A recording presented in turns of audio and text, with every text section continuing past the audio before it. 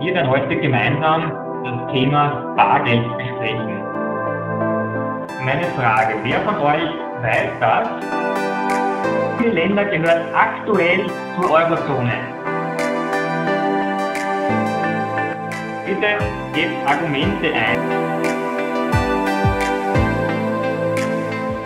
Ich möchte jetzt noch kurz diese Grafik analysieren.